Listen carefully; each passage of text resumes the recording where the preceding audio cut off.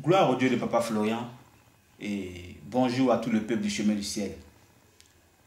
Aujourd'hui, nous achevons, nous terminons avec ce que nous avons commencé depuis la semaine dernière, parlant des responsabilités familiales. Aujourd'hui, nous tournons le regard chez les petits, les enfants, pour parler des responsabilités des enfants.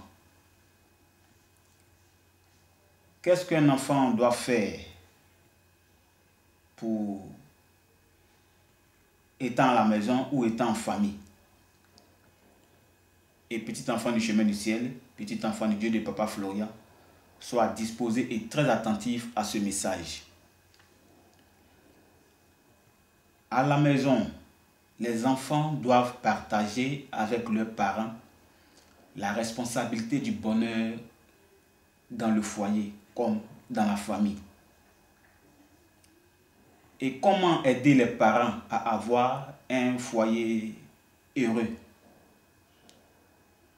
Tout juste en obéissant à la parole de Dieu, en obéissant aux parents. Et qu'est-ce qui se passe quand on est désobéissant aux parents, quand on est rebelle aux parents, on est rebelle à la voix de Dieu Ensemble, nous allons prendre notre Bible dans Deutéronome chapitre 21, de verset 18 à 19 et aussi le verset 21. Deutéronome chapitre 18, chapitre 21, le verset 18, qui nous dit, si un homme a un fils indocile et rebelle, n'écoutant ni la voix de son père, ni la voix de sa mère, et ne leur obéissant pas même après qu'ils l'ont châtié, le père et la mère le prendront et le mèneront vers les anciens de sa ville et à la porte du lieu qu'il habite. Et le verset 21 nous dit, Et tous les hommes de sa ville le lapideront et il mourra. Tu ôteras ainsi le mal du milieu de toi, afin que tout Israël entende et craigne.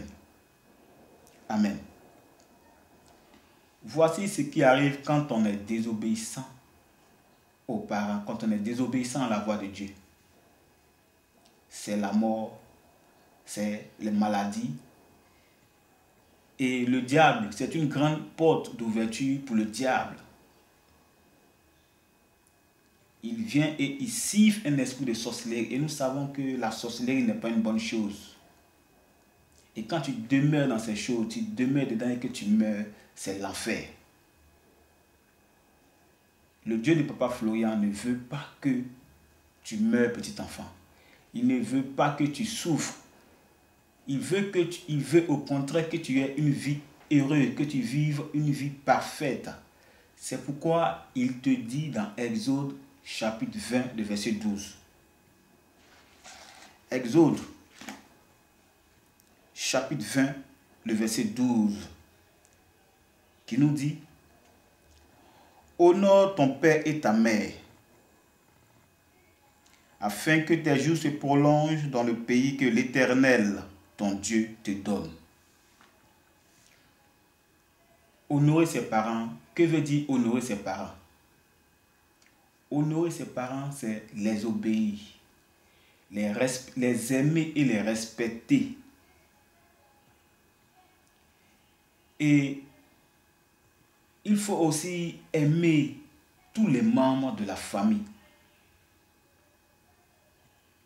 En, obéissant à ses parents, en respectant ses parents, c'est obéir aussi à Dieu. Parce que obéir à ses parents, c'est obéir à Dieu. Parce que c'est Dieu qui parle à travers la Bible. Et en obéissant à ses parents, le paradis te sera ouvert, petit enfant. Et il faut aussi abandonner la colère. La colère n'est pas une bonne chose. Il faut fuir la colère, abandonner les disputes. Le Seigneur n'est pas satisfait quand les enfants se querellent entre eux. Il faut aussi aimer les autres membres de la famille. Il faut apprendre à travailler à la maison. Veillez à ce que la maison soit nette et propre. Et pour terminer ce message, voici ce que Dieu te dit dans Colossiens 3, le verset 20.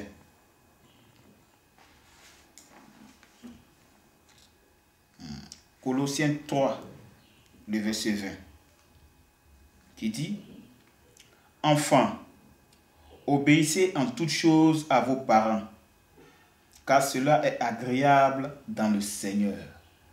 Amen. Si tu veux être agréable aux yeux du Dieu de Papa Florian, si tu veux que le Dieu, de, le Dieu de Papa Florian soit fier de toi, soit content de toi, tout simplement, il faut être obéissant. Il faut être obéissant à la voix de Dieu, obéissant au commandement du Seigneur. Que le Dieu de Papa Florian nous bénisse tous et bon culte à tout le monde. Amen.